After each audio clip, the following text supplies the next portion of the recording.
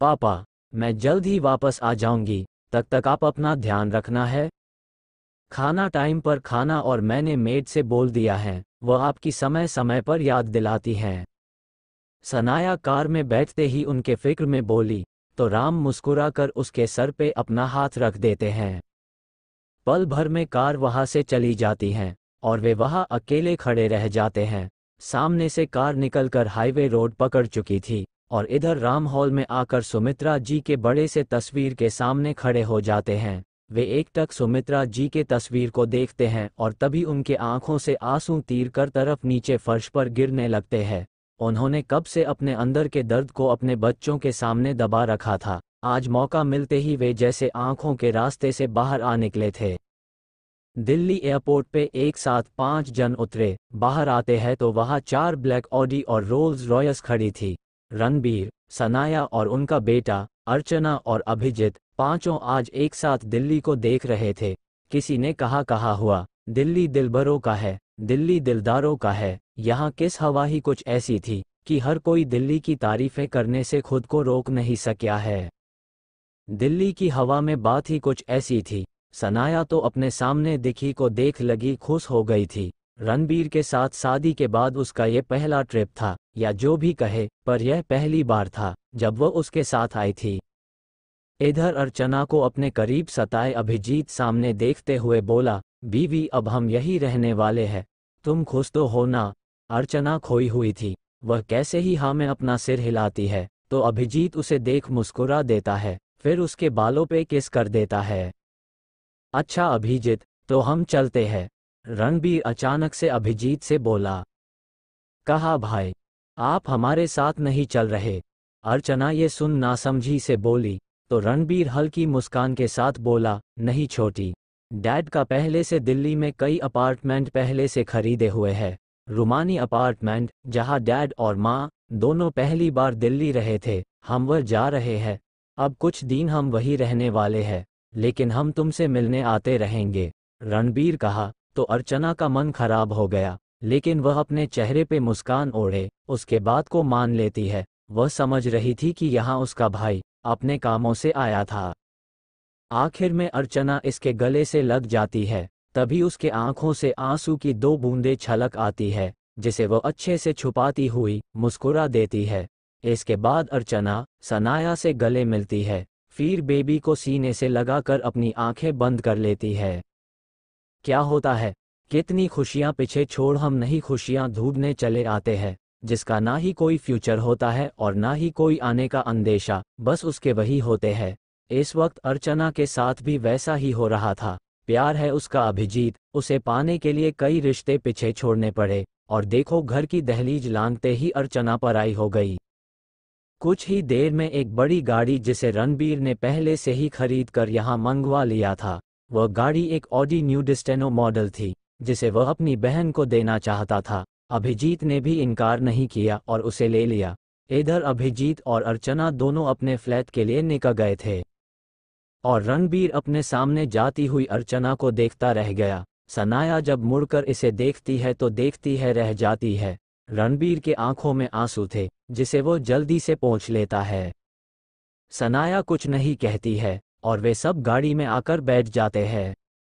गाड़ी में बैठते ही सनाया सामने बैठे घुंघराले बाल वाले लड़के को देख तोड़ा असज हो जाती है और अपने एक हाथ को रणबीर के बाजू में कस लेती है, क्योंकि सामने बैठा मानव उसे ही देखकर मुस्कुरा रहा था।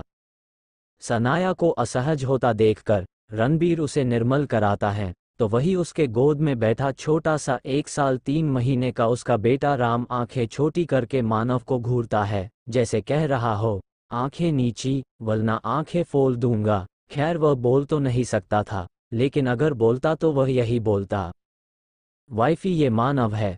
मानव, यहाँ हमारे काम को देखता है। अब से यह हमें एसिस्ट करेगा। रणबीर ने जब कहा तो सनाया मानव को ऊपर से नीचे तक देखती है। एक लड़का जो अतरंगी रंग बिरंगे कपड़े पहने, हाथ में एक घड़ी, वो भी कई रंगों के, घुंघराले बाल, जो भूरे दिखाई दे रहे थे। चेहरे पे एक गोल चश्मा था, उसे देख कोई नहीं कह सकता था, कि ये, छोड़ो, ये ऐसा ही है, पर काफ़ी खुला हुआ है, उसे शांत रहना पसंद नहीं, हर वक्त बक बक करना, उसे पसंद है। सनाया का परिचय करा, फिर राम का परिचय कराने के बाद, रणबीर उससे कहता है, मानव मैंने जो कहा था वो किया? Yes, boss. हो गया। मैंने रुमानी अपार्टमेंट की साफ़ सफ़ाई करवा दिया है और वहाँ के सारे फर्नीचर्स भी चेंज करवा दिए हैं। बाकी सारे अरेंजमेंट हो गए हैं और जो रह गया है वो आज शाम तक हो जाएगा। गुड। लेकिन, बॉस, आपने वही रहने का प्लान क्यों बनाया? आपके पास तो उससे भी अच्छे अच्छे ऑप्शंस थे। आपके पास लग्जरियस होटल्स है, अपार्टमेंट्स है तो फिर ये क्यों? इससे तुम्हारा कोई लेना देना नहीं है। तुम बस अपने काम पे फोकस करो। सॉरी, बॉस, मानव ने कहा और सर झुका लिया। तभी सनाया के गोद में बैठा राम जो कब से उसे ही घूरे जा रहा था। वह उसकी गोद से उतरने की कोशिश करने लगता है। सनाया कुछ समझ पाती कि वह जल्दी से उतर घुटने के बल चलकर मानव के गोद में चढ़ कर बैठ जाता है और उसे गौर से देखने लगता है। मानव तो हड़बड़ा कर उसे देखने लगता है। उसके हाथ हवा में उठे हुए थे और वह पीछे की तरफ़ अपने शरीर को धकेले हुए थे। बेबी, ममा के पास आओ। सनाया उसे लेने के लिए हाथ आगे बढ़ाती है। वो माफ़ करना जरा शरारती है। सनाया को राम पे इस वक्त गुस्सा आ रहा था। कैसे वह किसी अजनबी के गोद में जा सकता था? तभी राम पीछे घिसकते हुए अपनी टूटी फूटी आवाज़ में ना बोलता है और मानव के सर पे चढ़ने लगता है।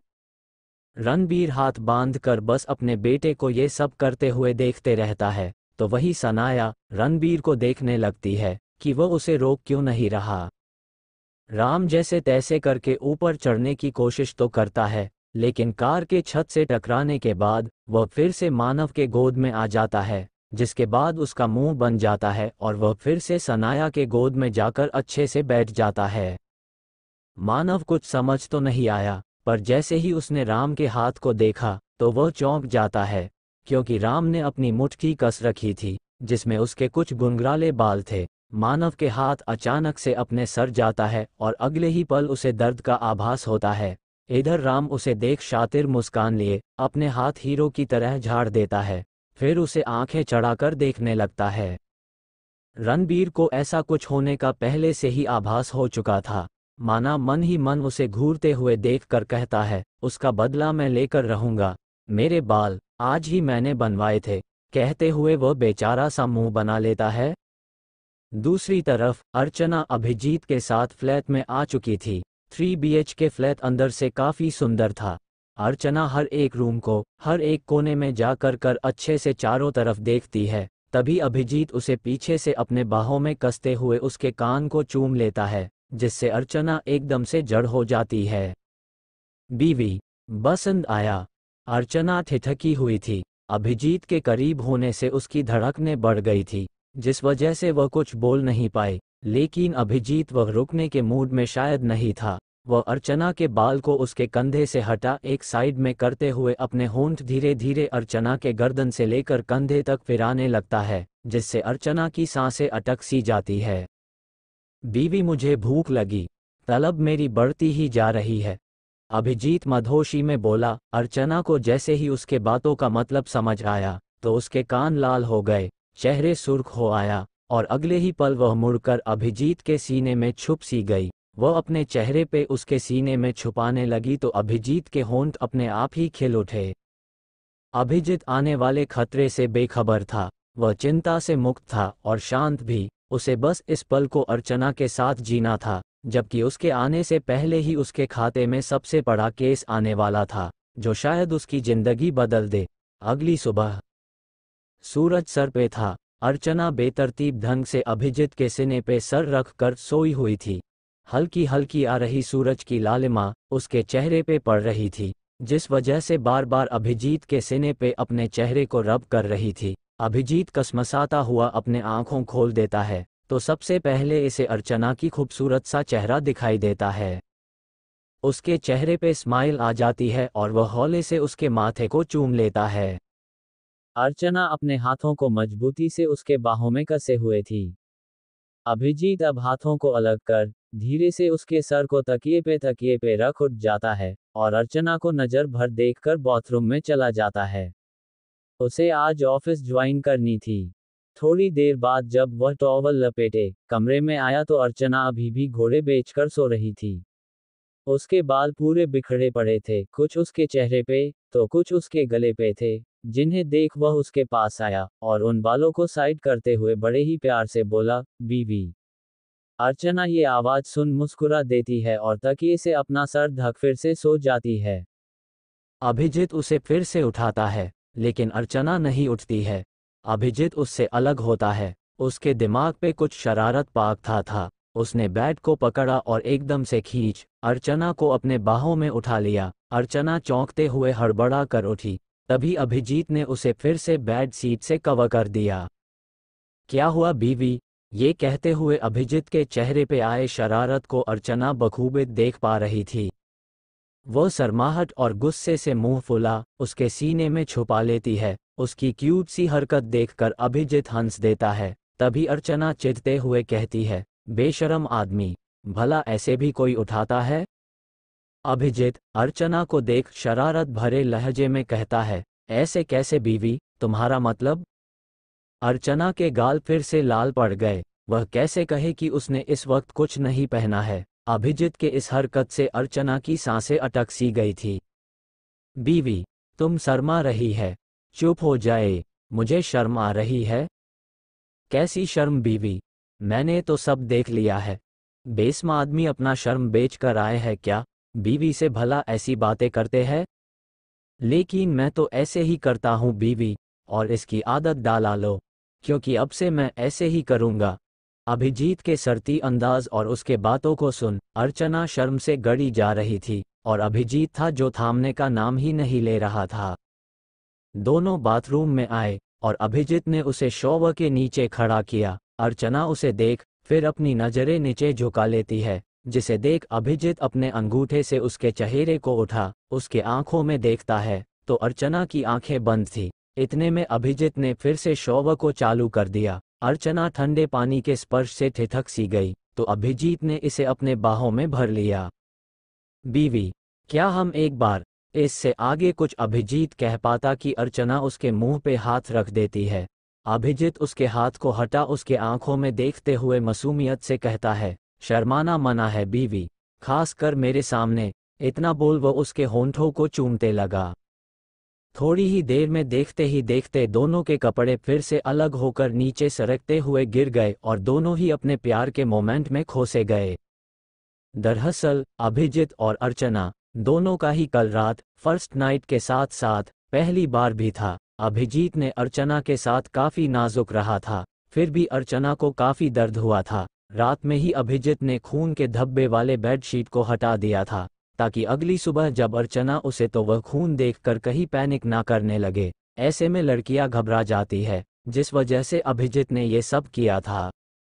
दूसरी तरफ़ सीबीआई चीफ के ऑफ़िस में अचानक से चीफ का टेलीफोन वाइब्रेट होने लगता है। चीफ फ़ोन रिसीव करते हैं और जैसे ही टेलीफोन को अपने कान से लगाते हैं तो दूसरी तरफ़ से गुस्से से भरी आवाज़ आती है। चीफ, मेरे सब्र का इम्तिहान क्यों लिया जा रहा है? सर हम माम को ढूँढने की पूरी कोशिश कर रहे हैं। अच्छा तो कहाँ तक पहुँचा आपका इन्वेस्टिगेशन क्या क्या आप सब मुझे क्या समझे है? मैंने कहा, मेरी मीरा मुझे चाहिए और अगर मेरी मीरा मुझे जल्द से जल्द मेरे सामने नहीं हुई तो मैं पूरे दिल्ली में आ लगा दूँगा। आपको जो करना है कीजिए, लेकिन मेरी मीरा को ढूंढिए। सर, हम पूरी कोशिश कर रहे हैं। कोशिश नहीं, मुझे रिज़ल्ट चाहिए। सामने आप। आई वॉन्ट रिज़ल्ट अचानक से फ़ोन कट गया, या यूँ कहे कि फ़ोन दूसरी तरफ़ वाले इंसान ने कट कर दिया था। चीफ टेलीफाइन को रख, अपने माथे को सहलाने लगे, कल रात से लगे हुए हैं इस केस में, लेकिन अभी तक उन्हें कुछ भी सुराग नहीं मिलाया है। चीफ कमिंग बेल बजाते हैं तो एक आदमी वहाँ आ जाता है, उसके आते ही चीफ गुस्से में उसके ऊपर भड़कते हुए कहते हैं, क्या कर रहे हो तुम सब? हान अभी तक तुम्हें केस का सी तक नहीं ढूंढ पाए, और ये नया लड़का, अभिजीत कहा है। इसे इसी वक्त यहाँ बुलाओ और ना आए हो उसे जाकर लेकर आओ। गो। अभी के अभी निकलो। चीफ का दिमाग फ़ोन आने के बाद जैसे हिल गया था, क्योंकि जिस इंसान ने कॉल किया था, वो सर फिरा था। सर, हम माम को ढूँढने की पूरी कोशिश कर रहे हैं। अच्छा तो कहाँ तक पहुँचा आपका इन्वेस्टिगेशन? क्या क्या आप सब मुझे क्या समझे है? मैंने कहा, मेरी मीरा मुझे चाहिए और अगर मेरी मीरा मुझे जल्द से जल्द मेरे सामने नहीं हुई तो मैं पूरे दिल्ली में आ लगा दूँगा। आपको जो करना है कीजिए, लेकिन मेरी मीरा को ढूंढिए। सर, हम पूरी कोशिश कर रहे हैं। कोशिश नहीं, मुझे रिज़ल्ट चाहिए। सामने आप आई वॉन्ट रिज़ल्ट अचानक से फ़ोन कट गया, या यूँ कहे कि फ़ोन दूसरी तरफ़ वाले इंसान ने कट कर दिया था। चीफ टेलीफाइन को रख, अपने माथे को सहलाने लगे। कल रात से लगे हुए हैं इस केस में, लेकिन अभी तक उन्हें कुछ भी सुराग नहीं मिलाया है। चीफ कमिंग बेल बजाते हैं तो एक आदमी वहाँ आ जाता है। उसके आते ही चीफ गुस्से में उसके ऊपर भड़कते हुए कहते हैं, क्या कर रहे हो तुम सब? हान, अभी तक तुम्हें केस का सी तक नहीं ढूंढ पाए, और ये नया लड़का, अभिजीत कहा है? इसे इसी वक्त यहाँ बुलाओ और ना आए हो उसे जाकर लेकर आओ। गो, अभी के अभी निकलो। चीफ का दिमाग फ़ोन आने के बाद जैसे हिल गया था, क्योंकि जिस इंसान ने कॉल किया था, वो सरफिरा था। सुबह हो चुकी थी, अर्चना इस वक्त किचन में थी, तभी घर का डोर बेल बजता है। अभिजीत जाकर डोर खोलता है तो उसे अपने सामने दरवाजे पे खड़े सनाया और रणबीर दिखाई देते हैं। राम, इस वक्त रणबीर के गोद था, वह अभिजीत को देखते ही उसको पकड़ने के लिए अपने हाथ आगे बढ़ाने लगता है। अभिजीत भी उसे देख मुस्कुरा दिया था। वह उसे अपने गोद में ले लेता है और उसके गाल पे एक किस चिपका देता है। राम अपने गाल को अपेन छोटे छोटे नन्हे हाथ से साफ़ करते हुए उसे घूर कर देखता है तो अभिजीत उसे अपनी तरफ़ घूरता पाकर मुस्कुरा देता है। रणबीर और अभिजीत आकार सोफे पे बैठ जाते हैं और बातें करने लगते हैं तो तुम ज्वाइन कब करने वाले हो सीबीआई वैसे मुझे नहीं लगता है। तुम जैसे जाबाज ऑफ़िस को उन्हें ज़्यादा देर बैठा कर रखना चाहिए। क्या कहते हैं? अभिजीत साफ़ साफ़ समझ रहा था कि रणबीर उसे चिढ़ा रहा है। तभी वह उसे देखते हुए कहता है, हूँ, तुम्हें तो खुश होना चाहिए। नहीं, आखिर तुम्हारे रास्ते का रोड़ा जो निकल गया। लेकिन ये मत समझना कि मैंने तुम्हें माफ़ कर दिया है। एक एक किए तुम्हारे जुल्म का हिसाब लिया जाएगा। मेरे जी जा जी, समझे। संभल कर रहना, सुना ही होगा, कानून के हाथ लंबे होते हैं। रणबीर के पास इसका जवाब था, वह तंज कसते हुए कहता है, आज ज्वाइनिंग ले लो, कल हाथ भी लंबे कर लेना, ज़्यादा दूर नहीं है। बस ताजमहल के इस तरफ़ तुम हो, और ताजमहल के उस तरह में, कहीं ऐसा ना ही, इधर ही गायब कर दिए जाओ। समझे मेरे प्यारे साले, अभिजीत मुठ्ठी कस, आँखें भींच लेता है। आखिर रणबीर सही हो तो कह रहा था, क्योंकि हर राह पर अभिजीत को आखिर में झुकना ही पड़ा था। कभी बहन तो कभी भांजा और फिर प्यार, इन सब के बीच में वह खुद को हार बैठा है। रणबीर उसके गले में हाथ डाल, मुस्कुराते हुए दूसरी बात करने लगता है, वैसे भी वह यहाँ लड़ने तो आया नहीं था, बस अभिजीत से उसे एक हेल्प चाहिए थी। इधर सनाया किचन में चली आई थी, और आते ही उससे पूछती है, क्या चल रहा है? भाभी सनाया ने कहा तो अर्चना के कान तक लाल हो गया वो इधर उधर देखते हुए कहती है, क्या भाभी आप भी ना? आप ऐसा मत बोलिए ना, मुझे अजीब लग रहा है। वैसे आप मेरी भाभी है, मैं नहीं, और हमेशा से रहेंगी। हमारा रिश्ता पहले था, आगे भी वैसा ही रहेगा। और आप ना, खैर छोड़िए। अर्चना कहते हुए जब रुक गई तब उसके चेहरे पे आए उदासी को देखकर सनाया ने उसे अपनी तरफ़ कर उसके गाल पे हाथ रख प्यार से पूछती है, क्या हुआ? कुछ नहीं भाभी। आप और भैया यहाँ आए भी तो आप दोनों अलग अलग रह रहे हैं। क्या आप हमारे साथ नहीं रह सकते हैं? अर्चना के कहते ही सनाया को समझ आया कि आखिर अर्चना के मायूस होने का कारण क्या है। सनाया उसे एक्सप्लेन करने की कोशिश करते हुए कहती है, इसमें नाराज़ होने वाली कौन सी बात है? जो तुमने अपना मुँह लटका लिया है, वो तो इसलिए कि कहीं तुम्हें दिक्कत ना हो। फ़र्स्ट नाइट थी। हूँ, और हम तो वैसे भी तुमसे दूर नहीं है। सनाया ने कहा तो अर्चना चेहरे को झुकाए हुए ही मुस्कुरा दी, जिसे देख सनाया भी उसे अपने गले से लगा लेती है। छोटी मोटी शिकायतें हो तो चलता है, पर बड़ी बन जाए, ये होने नहीं देना चाहिए। फैमिली अपनी अपनी ज़रूरतों के लिए कभी नहीं सहारा मांगती है। परिवार एक दूसरे की परवाह करते हैं, एक दूसरे की मदद करते हैं। खैर, बाहर रणबीर और अभिजीत बस बातें करने में लगे हुए थे, तभी अभिजीत का फ़ोन वाइब्रेट करने लगता है। अभिजीत फ़ोन में जब नज़रें टिकाता है तो वहाँ पे सीबीआई मेन ब्रांच लिखा हुआ सो हो रहा था। अभिजीत सोच में पड़ गया था। वह तो एक घंटे में आकर ज्वाइन करने ही आला था। सीबीआई को तो फिर ये कॉल क्यों? पर इन सबको छोड़ वह फ़ोन रिसीव करता है तो इधर से घबराहट भरा आवाज़ आता है। क्या आप अभिजीत बोल रहे हैं? जी हाँ सर आपको जल्द से जल्द सीबीआई हेडक्वार्टर आना होगा। क्या बात है, अभी तो मैंने अपना ज्वाइनिंग लेटर भी सबमिट नहीं किया है। सर, आपको ऑलरेडी ज्वाइनिंग सेक्शन डाल दिया गया है, और आधे घंटे में आपका ज्वाइनिंग अप्रूव भी ही जाएगा। इस वक्त आपकी ज़रूरत है, come fast C B I headquarter and join our team उधर से इतने बोलने के बाद, वह आदमी फ़ोन रख देता है। तो यहाँ बैठा अभिजीत सोच पे पड़ जाता है। क्या हुआ? एनी प्रॉब्लम रणबीर उसे परेशान होता देख पूछता है। नहीं मालूम। आई डोंट नो वहाँ जाने के बाद ही पता चलेगा। अभिजीत कहता है। तभी रणबीर बोला, मैं भी चलूँ। अगर तुम नहीं, मैं संभाल लूँगा। अच्छा। अभिजीत बीच में ही टोक दिया था। अभिजीत पाँच मिनट के अंदर रेडी हो जाता है और सीबीआई हेड क्वार्टर जाने के लिए तैयार हो जाता है।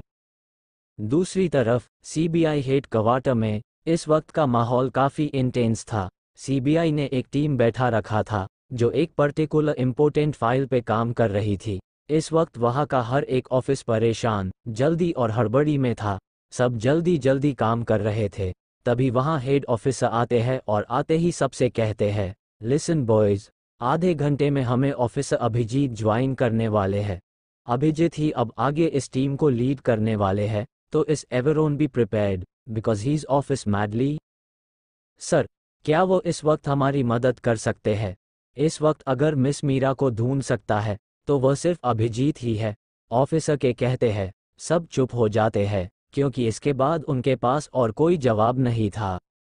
वक्त का माहौल काफ़ी इंटेंस था। सीबीआई ने एक टीम बैठा रखा था, जो एक पर्टिकुलर इम्पोर्टेंट फ़ाइल पे काम कर रही थी। इस वक्त वहाँ का हर एक ऑफ़िस परेशान, जल्दी और हड़बड़ी में था। सब जल्दी जल्दी काम कर रहे थे। तभी वहाँ हेड ऑफिसर आते हैं और आते ही सबसे कहते हैं लिसन बॉयज़ आधे घंटे में हमें ऑफिसर अभिजीत ज्वाइन करने वाले हैं।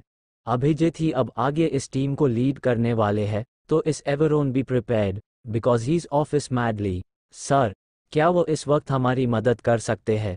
इस वक्त अगर मिस मीरा को ढूंढ सकता है तो वह सिर्फ़ अभिजीत ही है ऑफिसर के कहते हैं, सब चुप हो जाते हैं, क्योंकि इसके बाद उनके पास और कोई जवाब नहीं था। महँगे होते हैं, वो लोग, जिन्हें घड़ी देखकर बुलाया नहीं जा सकता, उनकी पहचान उन्हीं के हाँ और ना बोलने से होता है। महँगे लोग महँगे ही दिखाई देते हैं। खैर, इस वक्त जो महँगा था, वो था अभिजीत, जिसके हर एक सेकंड पे सीबीआई हेड को वोटर ने ना अपने सबसे अहम काम का मोहर लगा दिया था। अभिजीत कॉल के आन के बाद ही जल्द से जल्द सीबीआई हेड कवाटर चला आया था। अभिजीत का नंबर तो सब जान गए थे, लेकिन इसे अभी देखा सिर्फ़ एक ही इंसान ने था, और वो खुद चीफ थे, क्योंकि अभिजीत का फ़ाइल उन्हीं के पास गया था। जिसमें उसका फ़ोटो था। सीबीआई हेड क्वार्टर एक बड़े से दो मंजिले बिल्डिंग में फैला हुआ था, जिसके कई सारे ऑफिसर्स काम करते हैं। चीफ का केबिन सबसे ऊबर था, और उन्हीं के पास में एक मीटिंग रूम था, जहाँ आज मीटिंग होनी थी। अभिजीत अंदर आता है तो चारों तरफ़ सारे ऑफिसर काम में लगे हुए थे। हर किसी के माथे पे चिंता, परेशानी साफ़ साफ़ दिखाई दे रहा था। हर कोई अपने अपने काम में डूबा हुआ था, कि तभी ओ हेलो, कौन हो भाई? ये कोई धर्मशाला नहीं है, जो तुम यहाँ घुसे चले आए। चलो चलो निकलो, ये सीबीआई का ऑफ़िस है। अचानक से एक ऑफिसर अभिजीत के सामने आ खड़ा हुआ। उसे देख अभिजीत उसके चेहरे के झुंझलाहट को आराम से समझ गया था। अभिजीत आराम से शांत स्वभाव से बोला, मुझे चीफ से मिलना है। उन्हें कहो कि मैं आया हूँ। मैं कौन? तुम क्या कही के राजा महाराजा हो, जिसकी पैरवी की जाए, चीफ के आगे, हान, सामने खड़ा ऑफिसर चिरते हुए झुंझलाकर बोला। उन्हें जाकर बोलो, और नहीं बोल सकते तो ये बता दो, कि मीटिंग कहाँ चल रहा है। टाइम नहीं है मेरे पास। अभिजीत अभी अभी शांत था, लेकिन सामने खड़े आदमी का गुस्सा जैसे बढ़ने लगा था। तू है कौन? खैर, मैं अभी तुझे बाहर का रास्ता दिखाता। बलराम, इधर आ। और इसे बाहर का रास्ता दिखा, ये दोबारा यहाँ दिखना नहीं चाहिए। ऑफिसर ने कहा तो अभिजीत मुस्कुराया, इधर बलराम भी चला आया, वह सिक्योरिटी गार्ड था। सर, प्लीज़, आप मेरे साथ बाहर चले। अभिजीत बलराम के मुँह से ये सुनकर भी शांत रहा। ऑफिसर गुस्से में आ चुका था, लेकिन अब वह कुछ करता, तब तक वहाँ चीफ आ पहुँचते हुए, अभिजीत? वे देखते हुए अभिजीत को पहचान गए थे। ऑफिसर तो अभिजीत नाम सुनते ही चौंक गया था। कल से वह कई बार अभिजीत नाम सुन चुका था। वह हैरानी से अभिजीत को देखता है, जो अभी भी शांत था। अभिजीत अपना सर थोड़ा सा खुलाकर ऑफिसर के आँखों में देखते हुए कहता है तो ऑफिसर चलो मैं चलता हूँ। क्यों ठीक है ना? अभिजीत के शब्दों में तंज था, जिसे महसूस कर ऑफिसर ज़बरदस्ती मुस्कुरा देता है। चीफ के साथ अभिजीत मीटिंग रूम में आता है। जहाँ पहले से ही पाँच ऑफिसर बैठे हुए थे। अभिजीत एक अंदर आते ही सब उसे देखते हैं और उसे ग्रीड करते हैं। थोड़ी ही देर में मीटिंग फिर से स्टार्ट हो जाती है। इस बार अभिजीत बैठा हुआ सामने प्रोजेक्टर पर देखे जा रहा था। उसके सामने ही प्रोजेक्टर पर कुछ फ़ोटो जा रहे थे, जिन्हें दिखाते हुए एक ऑफिसर कहता है, ये काली वैन बिना नंबर प्लेट की थी। जिस वजह से हम अभी इसे ढूंढ नहीं पाए, दूसरी बात, आप इस वक्त यहाँ इस लड़की को देख रहे हैं, जिसे ज़बरदस्ती कार के अंदर बैठाया जा रहा है। एक लड़की जो कि वैन के अंदर बैठना नहीं चाह रही थी तो वह दूसरी लड़की जिसने खुद को अच्छे से ढक रखा था, वह चाकू के ज़ोर पर उस लड़की को अंदर बैठाने की कोशिश में लग रही थी। ऑफिसर आगे कुछ और फ़ोटोज़ दिखाता है, जिसके एक नौजवान आदमी जो काफ़ी खूबसूरत था जिसकी आँखें नीली थी, वह राजा की तरह सोफे पे बैठा हुआ था, जिसे दिखाते हुए ऑफिसर आगे कहने लगता है, ये है लियो ठाकुर, दिल्ली का सबसे अमीर आदमी। ये जितना खूबसूरत दिखता है, उससे कहीं ज़्यादा ये खतरनाक है। ये लड़की जिसे किडनैप किया गया है, यह इसी की जीएफ है, और ये सब कल हुआ है। हमें जल्द से जल्द इसे ढूंढना होगा।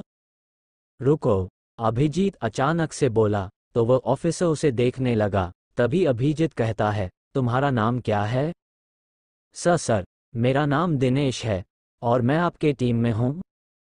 मेयर टीम मी मतलब मैं समझा नहीं। अभिजीत आश्चर्य से बोला, तभी वो ऑफिसर कहता है हान सर, हम सब एक टीम है, और हम मिलकर इस केस को सॉल्व करने वाले हैं, जिसके हेड आप है, आई मीन लीडर।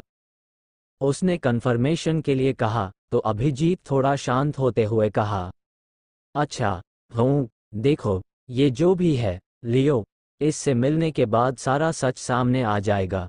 इस वक्त तुम ये बताओ, इस गाड़ी का या इसके बैठे लोगों का कुछ पता चला? दिनेश। अभिजीत कहते हुए उसने नाम पे जरा ज़ोर दिया तो दिनेश को लगा जैसे आज उसके इज़्ज़त में चार चाँद लग गए हैं। सर, हम बहुत जल्द पता लगा लेंगे। ये जो भी है, फ़िलहाल हम वैन पे फोकस कर रहे हैं। बढ़िया तुम वैन ढूंढो। मैं जरा इस लियो से मिलकर आता हूँ।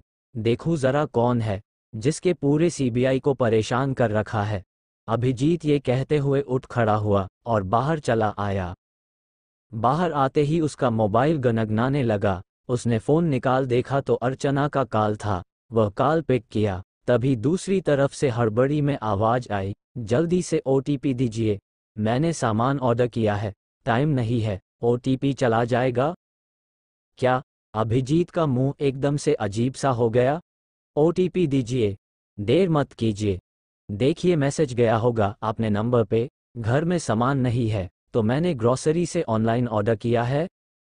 अभिजीत एक शांति भरा आह भरता है और फिर ओटीपी के लिए जैसे ही मैसेज बॉक्स खोलता है तो उसके होश उड़ जाते हैं, क्योंकि मैसेज पूरे छियासठ हज़ार का था। यानी ओटीपी देते ही उसके खाते से छियासठ हज़ार किसी घुमनाम पंछी की तरह उड़ जाने वाला था। बाहर आते ही उसका मोबाइल गनगनाने लगा। उसने फ़ोन निकाल देखा तो अर्चना का काल था। वह काल पिक किया। तभी दूसरी तरफ़ से हड़बड़ी में आवाज़ आई, जल्दी से ओटीपी दीजिए। मैंने सामान ऑर्डर किया है। टाइम नहीं है। ओटीपी चला जाएगा। क्या? अभिजीत का मुँह एकदम से अजीब सा हो गया। ओटीपी दीजिए। देर मत कीजिए। देखिए मैसेज गया होगा अपने नंबर पे। घर में सामान नहीं है तो मैंने ग्रॉसरी से ऑनलाइन ऑर्डर किया है। अभिजीत एक शांति भरा आह भरता है, और फिर ओटीपी के लिए जैसे ही मैसेज बॉक्स खोलता है तो उसके होश उड़ जाते हैं, क्योंकि मैसेज पूरे छियासठ हज़ार का था। यानी ओटीपी देते ही उसके खाते से छियासठ हज़ार किसी घुमनाम पंछी की तरह उड़ जाने वाला था। अभिजीत ने अर्चना के आगे हार मानते हुए ओटीपी दे देता है, अब जब दिल ही दे दिया तुम्हें तो ये क्रेडिट कार्ड का ओटीपी क्या करेगा? इधर अभिजीत लियो से मिलने के लिए निकल चुका था, वह लियो को देखना चाहता था, कारण कारण ये कि खुद रणबीर ने लियो का ज़िक्र किया था, उससे यहाँ आने से पहले, और यहाँ आते ही हर कोई उसी का नाम लिया जा रहा था। अभिजीत देखना चाहता था, कि आखिर ये है कौन, जिसके चर्चे हज़ार है। पर काम काम खोटे। माने आखिर कौन है, जो अपनी जीएफ तक को प्रोटेक्ट नहीं कर सकता और उसी के कंपनी के बाहर एक काली वैन आती है और उसकी जीएफ, मीरा, को लेकर निकल जाता है। अभिजीत चाहता तो लियो को सर्च भी कर सकता था, लेकिन ये सब करना उसके फितरत में कहा है। इधर लियो भी अकेला मीरा को ढूंढ नहीं पा रहा था, तभी उसे हेड क्वार्टर से चीफ ने अभिजीत से मिलने को कहा था। अभिजीत उसके ऑफ़िस चला आता है और आते ही बिना किसी से कुछ कहे सबसे ऊपर वाले केबिन की तरफ़ बढ़ जाता है, क्योंकि सबसे ऊपर ही का ऑफ़िस था। अभिजीत लिफ्ट में आता है, तभी उसे कोई लिफ्ट में मिल जाता है। क्या हम एक दूसरे को जानते हैं? अंदर आते ही अभिजीत से सामने खड़ा आदमी कहता है। अभिजीत सामने खड़े आदमी को एक बार घूरता है और बिना जवाब दिए सामने देखने लगता है। लिफ्ट धीरे धीरे ऊपर को ही जा रहा था। लिफ्ट सबसे ऊपर वाले फ्लो पे आकर रुकती है, तभी अभिजीत का फ़ोन बज उठता है। हेलो, अभिजीत सर, हमने लोकेशन ट्रैक कर लिया है। आपको अभी ही निकलना होगा? सेंड मी लोकेशन, और हाँ इस बारे में चीफ को मत बताना। सर, लेकिन पर, फ़ोन वाला कुछ आगे कहता, तब तक फ़ोन अभिजीत में डिस्कनेक्ट कर दिया था। सामने ही लियो का मेन ऑफ़िस था। जिसे देख अभिजीत अपना सर हिला देता है और पीछे पलट फिर से लिफ्ट में आकर ग्राउंड फ्लो का बटन दबा देता है। आधे घंटे बाद अभिजीत एक जगह पे आता है जहाँ का लोकेशन उसे बयूरो से भेजा गया था। यही से कुछ लोग कई सारी लड़कियों को विदेश टास्करी के, के लिए भेजा जाना था। खबर थी कि मीरा यहाँ होगी जिस वजह से अभिजीत अकेला ही यहाँ चला आया था। लेकिन यहाँ आकर पता चला कि यहाँ से लड़कियों को कहीं और शिफ्ट कर दिया गया था। और अब लोकेशन बदला जा चुका था। शायद उन्हें पुलिस और सीबीआई की खबर मिल चुका था। आसपास छानबीन करने के बाद जब अभिजीत को ना कोई सुराग मिला और ना ही कोई पता तो वह गुस्से में वसे झल्लाया हुआ सीबीआई ब्यूरो चला आया। सीबीआई डिपार्टमेंट में, लेकिन उसे अंदाज़ा नहीं था कि वह उसके आते ही लको मिल जाएगा। जैसे ही अभिजीत अंदर आया, तैसे ही लियो ने उसे उसके काला से पका झुंझोरते हुए काले बदल जैसे पट पड़ा। तुम सब कर क्या रहे हो? हाँ कोपी भी ध्यान नहीं दे रहा है, ऑफिसर। और तुम, तुम्हारे तो चर्चे पूरे अप में हैं तो फिर ये नाकामी क्यों? क्या तुम्हारे लिए मेरी वाइफ को ढूंढना इतना मुश्किल है? लियो ने उसे लगभग आरे तेंधे कर ही दिया था। अभिजीत अपने कॉलर से उसका हाथ छुड़ाते हुए उसकी आँखों में खौफ से देखते हुए बोला, नाकामी। लियो साहब, आपके ज़ुबान ये मीठी बात अच्छी नहीं लगती है। खैर बता दूँ इस वक्त रात के ग्यारह मेरी ड्यूटी सिर्फ़ पाँच बजे तक की है तो ये कॉलर पकड़ने से पहले सोच लिया करो, वरना लेने के देने पड़ सकते हैं। लियो इस सवाल का जवाब तलखी के साथ देते हुए कहा, मुझे किसी को कुछ कहने के लिए सोचने की ज़रूरत नहीं है, और तुम्हें रात हो या दिन ये नहीं भूलना चाहिए कि तुम इस वक्त किसके सामने खड़े हो और किसके लिए काम कर रहे हो। अभिजिंत हंस दिया और हँसते हुए उसके बातों का हवाइया उड़ाते हुए कहा हा हा हा हा। चलो, यही सुनना था। तुम में घमंड और अकड़ कूट कूट कर भरा पड़ा है। बस दिखते सुंदर हो। बाकी सब? अभिजीत बातों को बिच में ही छोड़ दिया और तभी उसके फ़ोन पे कॉल आने लगा। वह फ़ोन निकाल जैसे ही कान के पास रखा। तभी। कहा रह गए आप? घर नहीं आना क्या आपको? मुझे अकेला छोड़ कहा चले गए? अर्चना की फ़िक्र कम गुस्से में उनमी आवाज़ ज़्यादा आए। अभिजीत ऐसे माहौल में भी मुस्कुरा दिया, जिसे देख लियो कि नसें तन गई और चेहरा बुरी तरफ़ लाल हो गया। उसे जला के साथ साथ अभिजीत पे गुस्सा भी आ रहा था, कि आखिर उसे इस वक्त मीरा को खोजना चाहिए था। बीवी, काम पे हूँ। मैं रक सीरियस केस सोल्व कर रहा हूँ। बस आ जाऊँगा बहुत जल्द, ओके। मैं कुछ नहीं जानती, समझे आप? झूठे अभिजीत का चेहरा एकदम से आवाज़ सा रह गया। वो आश्चर्य से बोला, अब इसमें मैं झूठा कैसे हो गे भला? अभिजीत का मुँह हैरानी से खुल गया था, अपनी बिकी की अजीब सी शिकायत को सुनकर अर्चना कहती हैं अच्छा ठीक है, आप जब तक नहीं आते तब तक मैं शॉपिंग ही कर लेती हूँ। अभिजीत का मुँह खुल गया, वह हैरानी से बोला, अरे मेरी माँ, मुझे रुलाएगी क्या? शॉपिंग आईटीआई रथ को कौन करता है? हाँ तो मुझे कई जाना थोड़े ही हैं। अर्चना मासूमियत से बोली, पर अब तक अभिजीत का हाथ अपने पॉकेट तक जा चुका था। शायद लाख, दो लाख की चिंता लगी हुई थी उसे, जो अब उसके ना जाने पर भरपाई करने वाले थे, वह मन ही मन बोला।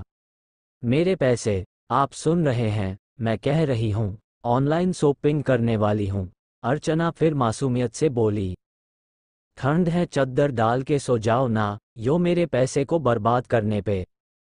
देखिए ओटीपी टी पी ओ गया आपके फ़ोन पे। अभिजीत आगे कुछ बोल भी नहीं पाया था कि अर्चना तब तक ऑर्डर कर भी चुकी थी। अभिजित आश्चर्य और हैरानी से अपने फ़ोन को देखते हैं। अभी अभी ताज़ा कुछ हज़ार रुपए काटने के मैसेज आए थे। अभिजीत का दिल मोह को आ गया। तुम शॉपिंग क्या आकर रही हो? अभिजीत को अपने फ़ोन पे कुछ यही बयासी हज़ार का फिल कटता नज़र आ रहा था, जो उसके पूरे दो महीने की कमी थी। आप नहीं जानते हैं, भाभी कहती हैं, पति के पैसे उड़ाने में बड़ा मज़ा आता है। पागल औरत, भाभी की बच्ची, पट्टी को क्या सोने के खान से उठा लाई थी। अभिजत हैरान था, और अब सोच रहा था कि वह अपनी फुल सी बीवी को भोली कहे, क्या खुद को ना समझ? क्या हुआ आपको? ओ दीजिए ना। अभिजित झल्लाया सा ओ दे देता है, और तभी। अच्छा सुनिए आप घर जल्दी आना। न तो मेरी शॉपिंग लिस्ट काफ़ी बड़ी है। आई लव यू मेरे पति देव। अर्चना इतना बोल फ़ोन रख देती, अहिन। तो अभिजीत बिना कुछ कहे अपना फ़ोन पॉकेट में रख लेता है। उसके चेहरे पे बारह बजे हुए थे।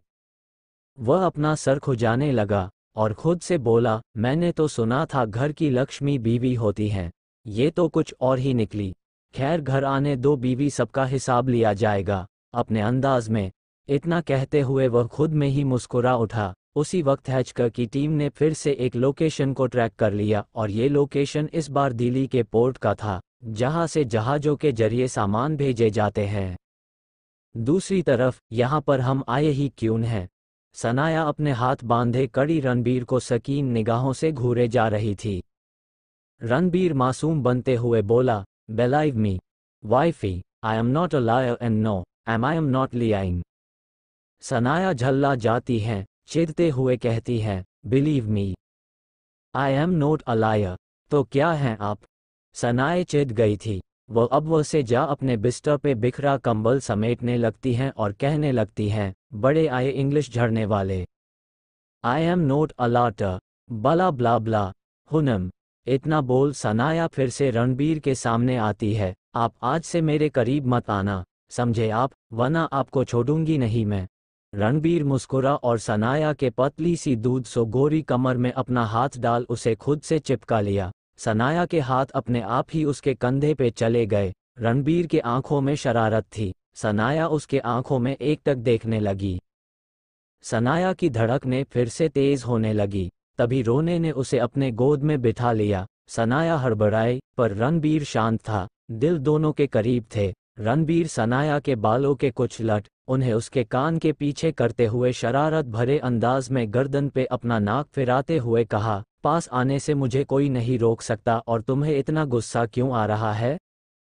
मैंने कोई झूठ नहीं कहा, वाइफी। इतना बोल रणबीर सनाया के चेहरे को अपनी तरफ़ करता है और अपना अंगूठा सनाया के होंठों पे रख इसे रब करते हुए कहता है, इन होंठों पे गुस्सा अच्छा नहीं लगता है, वाइफी। गुस्से का खट्टे से काफ़ी गहरा रिश्ता है। इसे मैं अभी मीठा, शांत किए देता हूँ।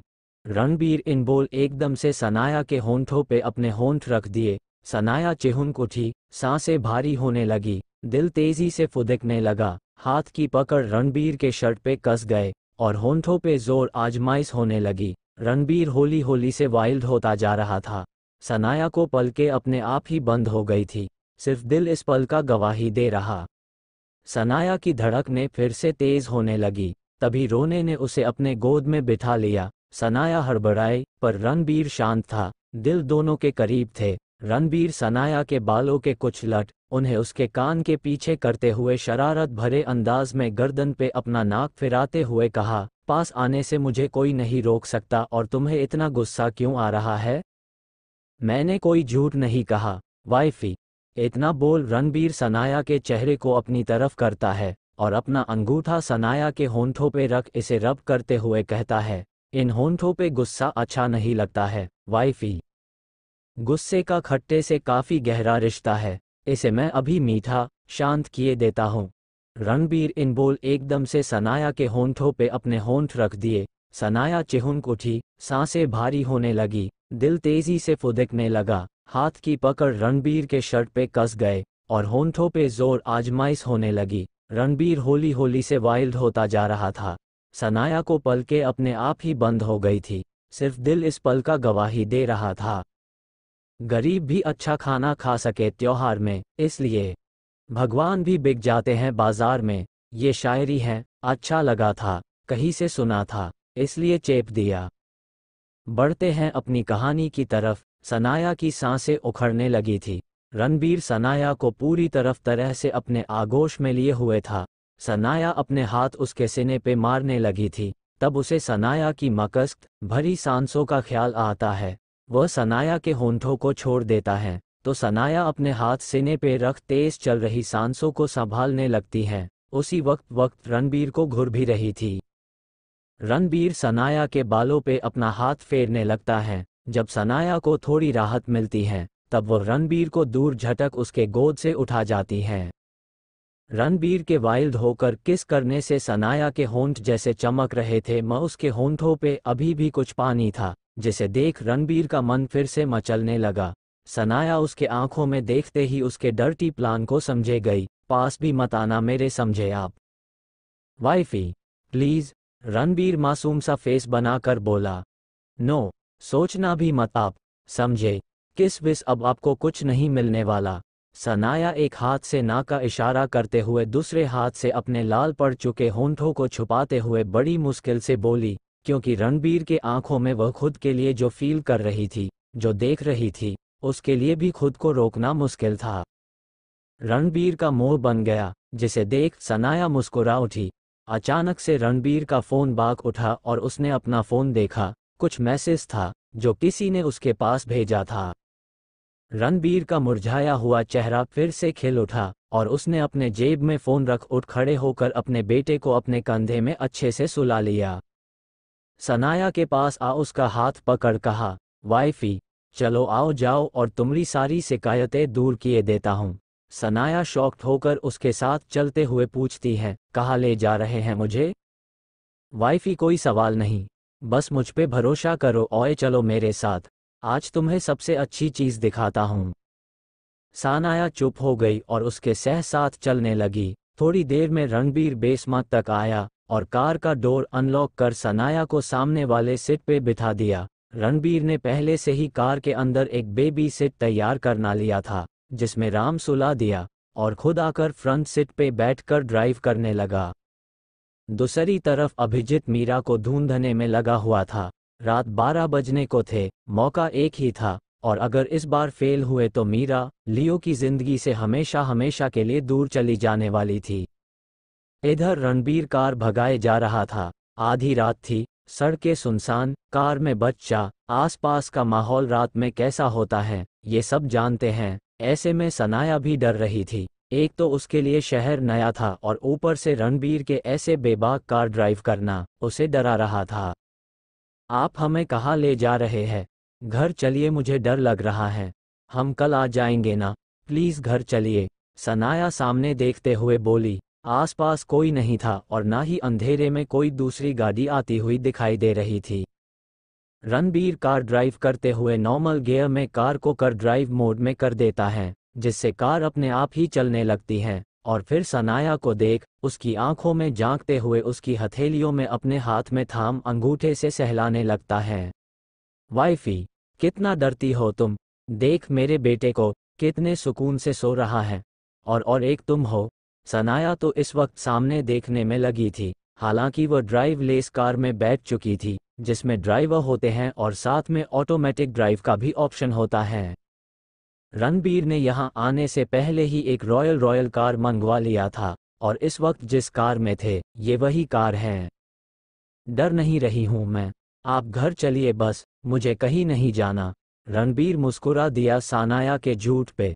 रणबीर को मुस्कुराता देख सानाया झेप गई। उसने मुँह बना लिया और उससे अपना हाथ छुड़ा थोड़ी दूर पर बैठ गई। मुझे आपसे बात ही नहीं करनी। हुनम, सानाया बोलकर सामने विंडो से दूसरी तरफ़ देखने लगी। रणबीर मुस्कुरा दिया और फिर से कार ड्राइव करने लगा। थोड़ी ही देर में रणबीर कार पहाड़ी के ऊपर ले आया और कार रोक, खुद बाहर आकर सानाया को और अपने बेटे को बाहर निकाला। राम तो रणबीर के इधर उधर करने पर उठ गया था। सनाया सामने छोटी सी पहाड़ी के पिक से सामने रात की अंधेरी में झागमगाता दिल ही को देख आश्चर्य से बोली हम यहाँ इतनी रात के क्यों आए हैं?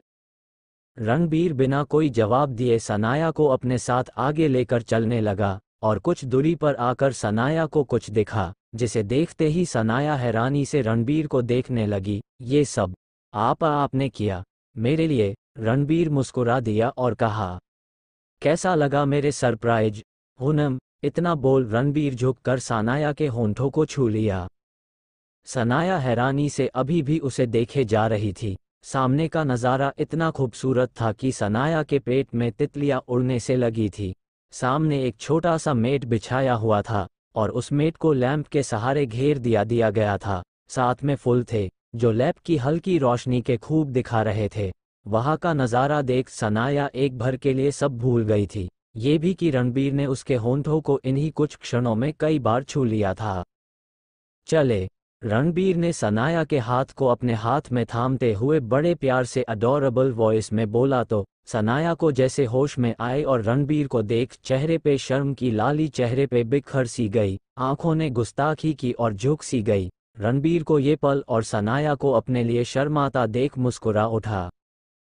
तीनों मेट तक आए, रणबीर ने सनाया को बैठाया और अपने बेटे को खुद गोद में ले बैठ गया। सनाया अपना सर उसके कंधे पे रख सामने देखने लगी। तभी कोई आया और एक चादर से पीछे से तीनों को धक दिया। सनाया तो बस रणबीर को ही देख रही थी। आज उसकी ज़िंदगी में ये पहली बार था, जब ऐसा कुछ हो रहा था। तभी दो और लोग आए और उनके सामने कुछ खाने का रख चले गए। सनाया अब भी रणबीर को देख रही थी।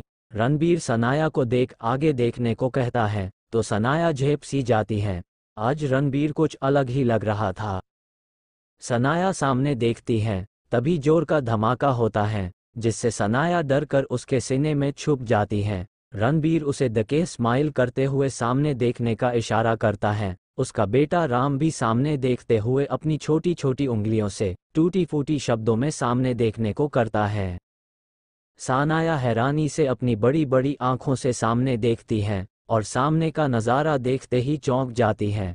सामने कोई आतिशबाजी नहीं हो रही थी, और ना ही कुछ ऐसा। लेकिन जो हो रहा था, वह सनाया के लिए बेहद खास था। सनाया अपनी फटी पड़ी आँखों से सामने देखने लगती है। सामने बहुत बड़ा प्रोजेक्टर लगा था। एक लड़का, एक लड़की का हाथ पके घुटनों के बल बैठा है। उसी के पास एक नर्स, एक नन्हे से नवजात शिशु को लिए खड़ी है। यह वीडियो सनाया ने जब राम को जन्म दिया था, तब का है। उसके साथ वीडियो अचानक से बदल जाता है और अगले ही पल एक और वीडियो आ जाता है, जिसमें रणबीर सनाया के सामने घुटनों के बल बैठा हुआ था और उसके हाथ में अंगूठी थी। वह मुस्कुराते हुए सनाया को देख रहा था और सनाया आश्चर्य से, हैरानी से फटी पड़ी अपनी आँखों से उसे देख रही थी। ये वीडियो क्लिप जब रणबीर ने सनाया को प्रोपोज किया था, तब का है।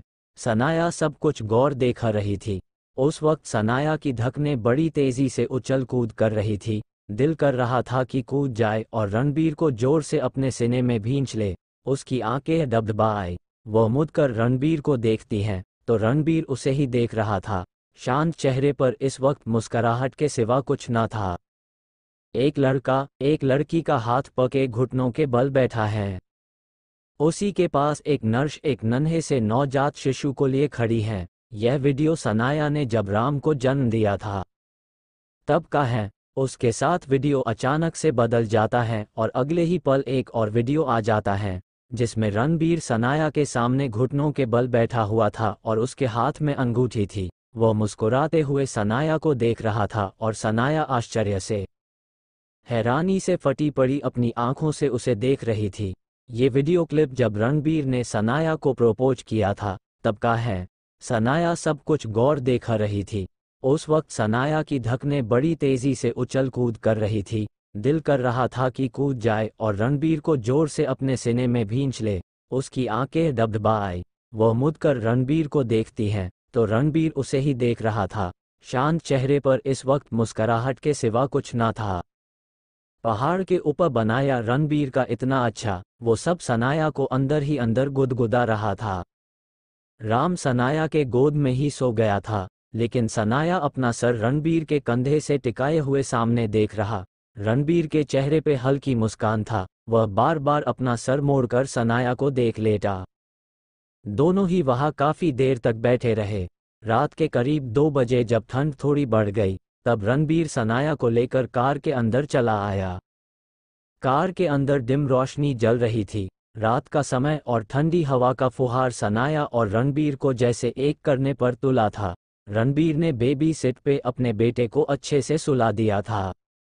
सनाया उसे ही देख रही थी। सनाया के चेहरे पे संतोष था। रणबीर ने आज उसे काफ़ी खुश कर दिया था। वाइफी, रणबीर बोला, इस बार उसके शब्दों में एक अलग ही नशा था, जिसे सनाया महसूस कर अंदर तक शीश उठी थी। रणबीर सनाया के खुले कमर से होकर धीरे धीरे अपनी नज़रें ऊपर ले जाते हुए गले पे रोक दिया। आप आप ससिस मुझे महसूस करो। रणबीर सनाया को बोलने से रोक दिया। उसने एक बटन दबाया और कार का पर्टेसियन ऑन हो गया। सनाया की धकने तेज होने लगी। रणबीर अब अपने होंठ सनाया के कंधे पे रख, उसे चूम लिया। एक ठंड सी सितलर की फुहार सनाए को महसूस हुई। सनाया के दोनों हाथ उसके कंधे पे चले गए, और उसने ज़ोर से उसके कंधे पे अपने हाथ जमा दिए। रणबीर उसे कंधे पे अपने होंठ धीरे धीरे चलाते हुए गले पे आया, और सनाया के सारे बाल दूसरी ओर कर वह फिर से गले को चूमने लगा। अब सनाया की आहें निकलने लगी थी। रणबीर का छूना उसे रोमांचित किए जा रहा था। थिदे देर ऐसे ही रहने के बाद उसने सनाया से अलग हो उसकी मखमली कमर में हाथ डाल उसे अपने गोद में बिठा लिया। सनाया की एक आह निकली और रणबीर के चेहरे पर शरारत वाली मुस्कान बिखर आया। सनाया की नज़रें रणबीर के नज़रों से जैसे ही मिली तो उसे अपने अंदर गुदगुदी सी होने लगी। रणबीर के आँखों में आज खुमारी छाया हुआ था। आँखों में एक अलग ही नशा था। सनाया के होंठ काम रहे थे। जिस पे रणबीर ने अपना सख्त अंगूठा रखा, जिसे महसूस कर सनाया की आँखें अपने आप ही बंद हो गए, रणबीर होंठों को रब करता रहा और उसके गले में हाथ डाल अपने करीब कर उसके होंठों को अपने होंठों के गिरफ्त में ले लिया। सनाया एकदम से आँखों खोल उसके आँखों में झांकने लगी। बिना किसी झिझक के वह भी अब रणबीर का साथ देने लगी। दोनों की आहें तेज होने लगी। कुछ ही देर में दोनों एक दूसरे में खो गए। दूसरी तरफ़, लखनऊ, ये लड़ाई तुम दोनों की है, मैं इसके बीच में नहीं आ सकता हूँ। लेकिन, क्या उसने सही किया? इतने दिन होने को हैं और पिहू का कुछ पता नहीं। हाँ मैं मानता हूँ, अपनों के मरने के और उनके बदले के आग में मैं अंधा हो गया था। इसके लिए मैं माफ़ी कभी नहीं मांगूँगा, लेकिन आपके बेटे ने जो किया है, उसकी उसे भरपाई करनी पड़ेगी। मैं ज़रूरी नहीं समझता कि तुम मुझसे माफ़ी मांगो और मैं तुम्हें कभी माफ़ करूँगा भी नहीं।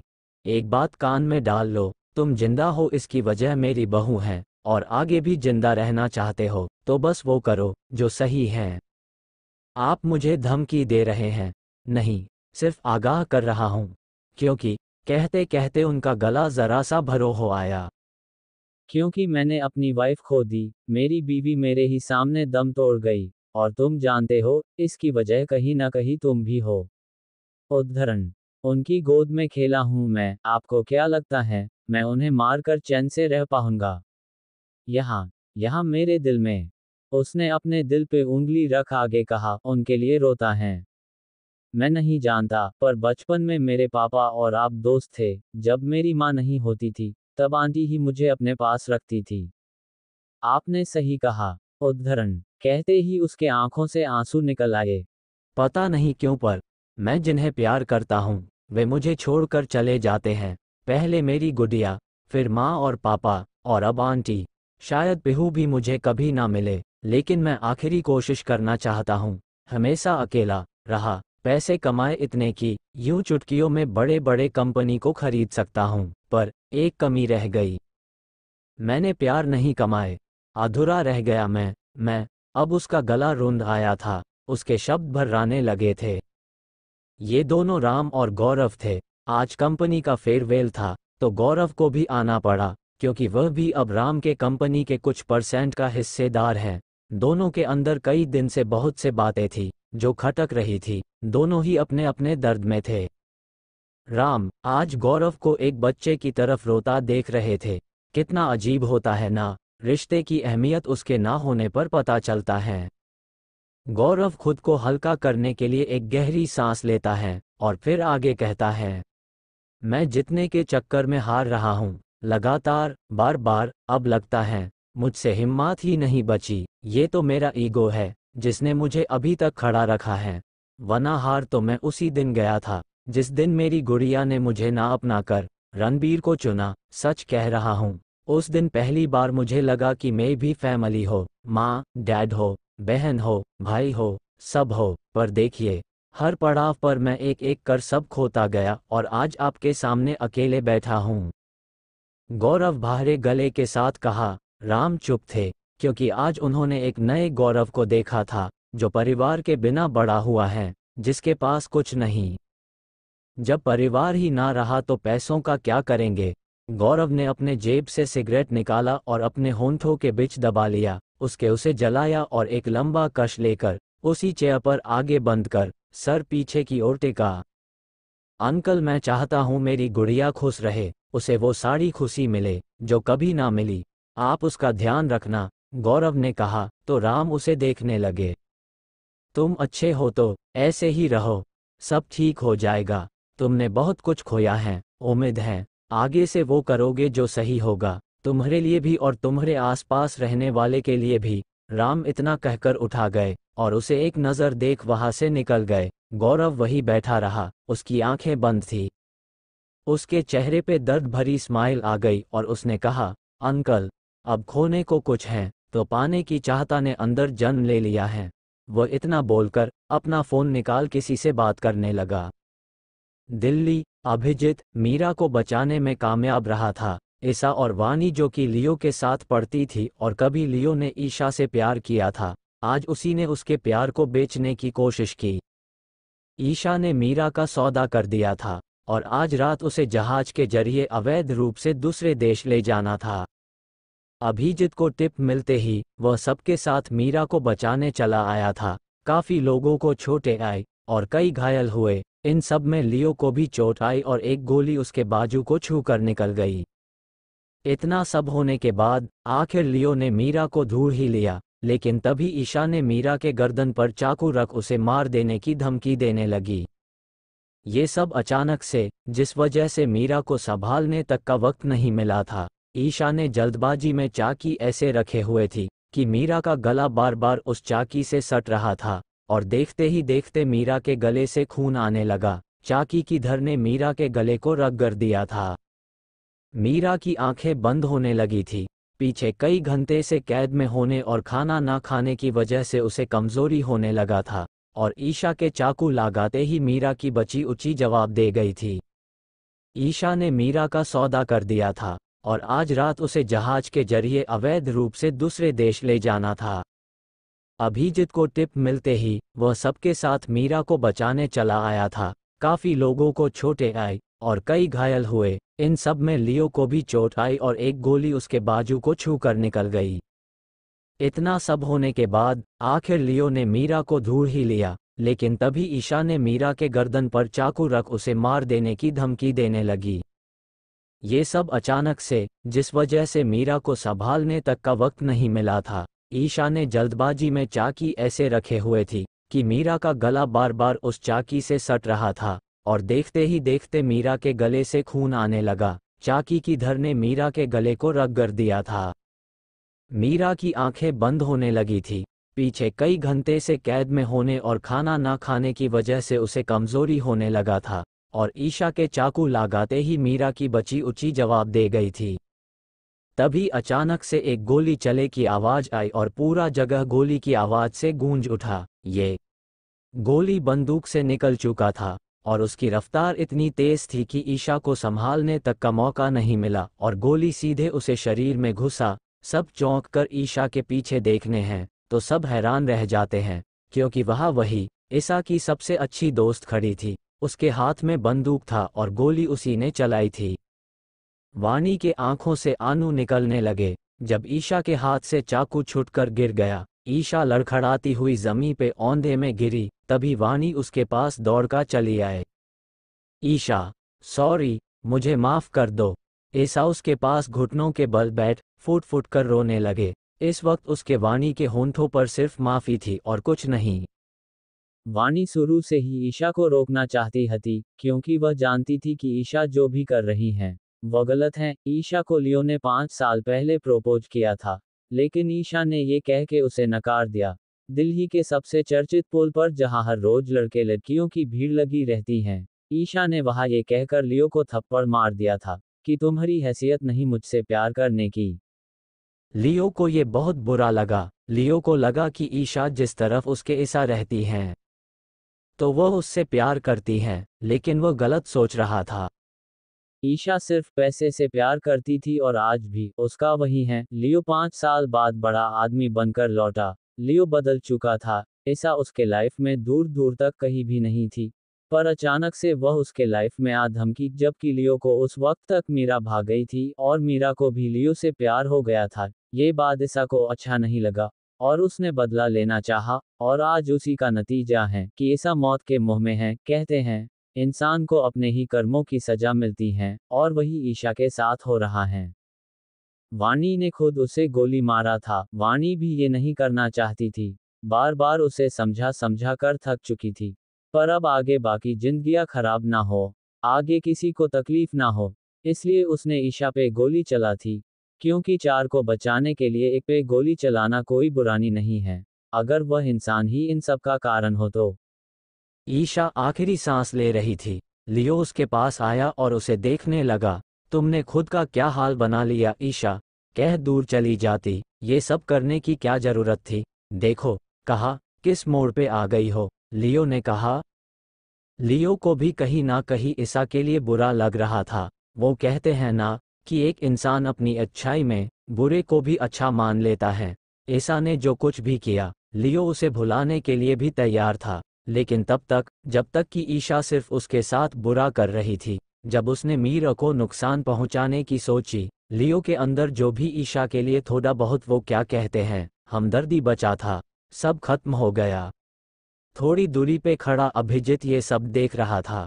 उसने हेड को वाटर में इन्फॉर्म कर सीबीआई को बता दिया कि मिशन सक्सेसफुल रहा। कुछ ही देर में पुलिस की टीम ने ईशा और वाणी को वहाँ से ले गई। इधर मीरा को लेकर लियो अपने साथ निकल गया था। अब सब ठीक था। मीरा को ठीक देख उसे लगा सब ठीक है, पर असली प्रॉब्लम अब शुरू होनी थी। दरअसल, मीरा के गले पे बड़ा कट आ गया था, जो ईसा के चाकू गले पे रखने से लगा था। लियो ने तत्काल के लिए उसके एक साफ़ रुमाल बाँध दिया था, पर कार में बैठी मीरा की साँसें अचानक से उखड़ने लगी तो लियो उसे देख घबरा गया। मीरा मीरा, तुम ठीक हो? मीरा, लियो मीरा की हथेलियों को एक साथ से पकड़ उसे जगाने की कोशिश करने लगा। इन सब में उसे रास्ते का ध्यान ही नहीं रहा, और अचानक से एक बड़ी गाड़ी के सामने आ जाने से कार का बैलेंस बिगड़ गया। रात का वक्त था और रास्ता सुनसान, गाड़ी पास के एक बड़े से पेड़ से जा टकराई, जिसके बाद ही कार के आगे के हिस्से से धुआँ निकलने लगा। ये सब देख लियो एकदम से घबरा गया। माथे पे पसीना बारिश की बूंदों की तरफ़ घर करने लगी। मीरा तेज तेज साँसें लिए जा रही थी। उसके गले में बंधा रुमाल बुरा खून से सन गया था। ये सब देख लियो कि बेचैन और डर एक साथ बढ़ने लगा। वह गुस्से में और दर्द में इधर उधर देखने लगा। कार अब आगे बढ़ने के हालत में नहीं थी। मीरा की साँसें धीरे धीरे जैसे बंद होने लगी थी। पूरे कार में उसकी दर्द भरी सांसों की आवाज़ गूंजने लगा। मीरा नहीं, तुम ऐसे नहीं कर सकती। उठो मीरा हम अभी हॉस्पिटल चलते हैं, मैं तुम्हें कुछ नहीं होने दूँगा। लियो ने कहा और इधर उधर देखने लगा, दोनों तरफ़ से उसे किसी दूसरी वाहन के आने की आशंका नहीं लग रहा था। मीरा अचानक से उसके हाथ को पकड़, तेरी से ब्रीथिंग करने लगी, जिसे देख लियो के आँखों से आँसू निकलने लगते हैं, उसे कुछ समझ नहीं आ रहा था। इतना सब कुछ होने के बाद, अब वह अपनी जान को खोना नहीं चाहता था। मीरा कुछ नहीं होने दूँगा तुझे। लियो दर्द में मैं बोला। उसका गला भर आया था। तभी अचानक से किसी कार के हॉर्न सुनाई देता है। लियो उस ओर देखता है, जहाँ से एक कार तेज़ी से चली आ रही थी। लियो दौड़ कर कर बिच रास्ते में जा खड़ा हुआ। कार में बैठा शख्स अचानक से किसी आदमी को सामने आने से देख ब्रेक लगाता है, जिससे कार घसीटती हुई। लियो के ठीक पैरों के दो इंच के पास रुकती हैं।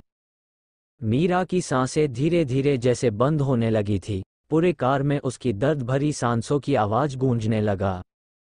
मीरा नहीं, तुम ऐसे नहीं कर सकती। उठो मीरा, हम अभी हॉस्पिटल चलते हैं, मैं तुम्हें कुछ नहीं होने दूँगा, लियो ने कहा और इधर उधर देखने लगा। दोनों तरफ़ से उसे किसी दूसरी वाहन के आने की आशंका नहीं लग रहा था। मीरा अचानक से उसके हाथ को पकड़, तेरी से ब्रीथिंग करने लगी। जिसे देख लियो के आँखों से आँसू निकलने लगते हैं, उसे कुछ समझ नहीं आ रहा था। इतना सब कुछ होने के बाद, अब वह अपनी जान को खोना नहीं चाहता था। मीरा, कुछ नहीं होने दूँगा तुझे, लियो दर्द में मैं बोला। उसका गला भर आया था। तभी अचानक से किसी कार के हॉर्न सुनाई देता है। लियो उस ओर देखता है, जहाँ से एक कार तेज़ी से चली आ रही थी। लियो दौड़ कर कर बिच रास्ते में जा खड़ा हुआ। कार में बैठा शख्स अचानक से किसी आदमी को सामने आने से देख ब्रेक लगाता है, जिससे कार घसीटती हुई लियो के ठीक पैरों के दो इंच के पास रुकती है। कार काफ़ी तेज़ी से चला आ रहा था, पर लियो को देख ड्राइव करने वाले ने समय रहते ब्रेक लगा दिया था, वरना आज मीरा के साथ साथ लियो भी खास पर खून लौट रहा होता। गाड़ी रुकते ही लियो ड्राइवर वाले सीट के पास आ शीशे पे हाथ मारता है, वह पहले से ही हटबडाहट में था। शीशा नीचे होता है। कौन? सर, मैं लियो। प्लीज़ मेरी मदद कीजिए। नहीं तो मरी वाइफ। मर जाएगी। प्लीज़। लियो के चेहरे पे चिंता, घबराहट देख कार वाले ने झट से गेट खोल कार से बाहर आ गया। कहा है तुम्हारी वाइफ? दोनों दौड़कर मीरा के पास आए तो कार वाले ने मीरा को उठा जल्दी से कार में बैठाने के लिए कहा। दोनों ने मिलकर मीरा को कार के अंदर बैठाया और गाड़ी तेज़ी से पास के ही हॉस्पिटल की तरफ़ चल पड़ी। कार के अंदर लोकेटर स्क्रीन पे सबसे नजदीकी हॉस्पिटल का लोकेशन लगा दिया था और हॉस्पिटल मात्र महज कुछ ही दूरी पे था। कार फुल स्पीड में थी और 10 मिनट में हॉस्पिटल आ गया। लियो गाड़ी से निकल मीरा को अपने गोद में उठा लिया था। उसे इस वक्त सिर्फ़ मीरा ही दिखाई दे रही थी। सब कुछ छोड़ वह अंदर भागा। कार के अंदर ड्राइवर सीट पे बैठा शख्स सामने अपने पास बैठी बीवी से कहता है, वाइफी मैं अभी आया, तुम यही रहो, मैं अभी आ जाऊँगा। ये और कोई नहीं रणबीर था। रणबीर लियो के मुँह से उसका नाम सुनता ही उसे पहचान गया था और तभी उसने मदद करने की सोची थी। सनाया जो कि अपने बेटे को गोद में लिए हुए थी, वह कहती है, मैं भी आपके साथ चलती हूँ। रणबीर ज़्यादा सवाल नहीं करता और सनाया के साथ हॉस्पिटल के अंदर चला आता है। दूसरी तरफ़, अर्चना अभी तक सोई नहीं थी, उसे अभिजीत के आने का इंतज़ार था, इसलिए वह हॉल में ही सोफे पे बैठी हुई थी, तभी उसे घर के मेन डोर खुलने का आभास होता है। सन्नाटे से भरी रात में अगर हवा भी तेज चले तो सुनाई दे जाती है। फिर तो ये गेट के चरचराहट का साउंड था, अर्चना अपने फ़ोन पे अपनी पकड़ मज़बूत कर लेती हैं। कौन है? अभी आप है। लीज आप मुझे ऐसे डराइए मत। अर्चना डरते हुए दरवाजे की तरफ़ देखती हैं। जहाँ दरवाज़ा खुला हुआ तो दिखाई देता है, पर कोई नहीं होता दरवाजे के पास। आप मुझे डरा क्यों रहे हैं? प्लीज़।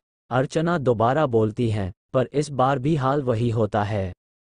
अर्चना के माथे पर अब पसीना आने लगा था। डर से पैर कांपने लगे थे, और आँखों में डर की लहर दौड़ आई थी। तभी अचानक से उसके आँखों के सामने कोई माचिश जला देता है, जिसे देख अर्चना घबराकर डर से चीख पड़ती है।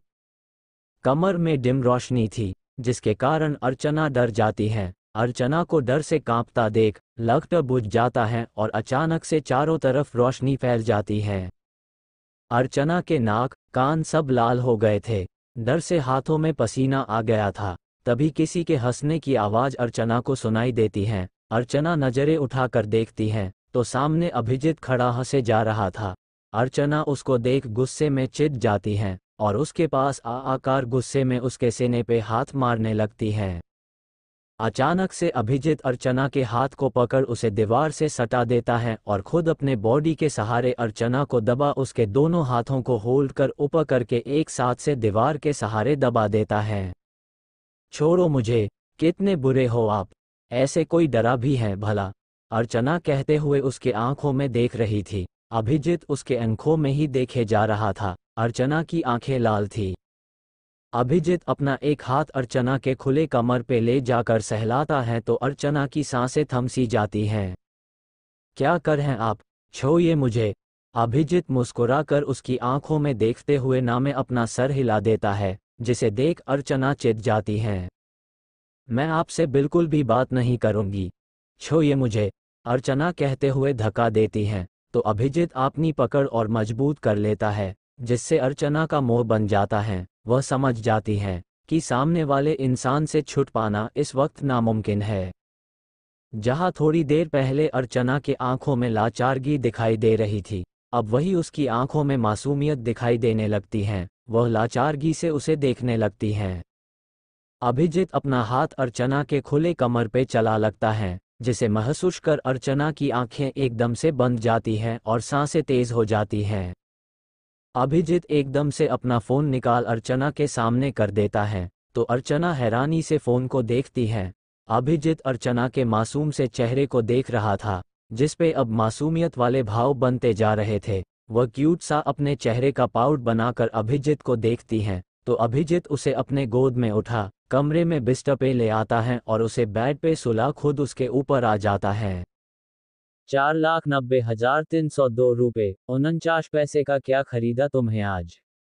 अभिजीत अपने भावों को उचकाते हुए बोला तो अर्चना उससे छूटते हुए कहने लगी। आप नहीं आए तो मैं क्या करती? शॉपिंग करने लगी।